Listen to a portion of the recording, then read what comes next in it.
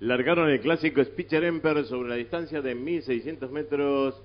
Sale rápidamente por el lado de la pista la número 5, Silva Landria, conducida por Mario Fernández hacia la delantera, estirando medio cuerpo de ventaja sobre el 6, la Cabanel con la monta de Horacio Betanzos.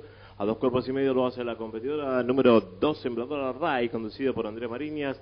A tres cuerpos cierra la marcha la número 1, Envasit Not, conducida por Aníbal Cabrera. Están ya en la señal de marcatoria de los 1200 metros. La número 5, Silva Landria, se mantiene en la delantera, dos cuerpos y medio de ventaja sobre el 6, la Cabanel. A varios cuerpos lo hace la competidora número 2, Sembradora Ray. A tres cuerpos y medio, la número 1, Embassy Not continúa cerrando la marcha. Van a hacer su paso ahora por la señal de marcatoria de los 900. Siempre la número 5 Silva Landria la delantera. Tres cuartos de cuerpo de ventaja sobre la número 6 la Cabanel que por fuera va en busca de la puntera.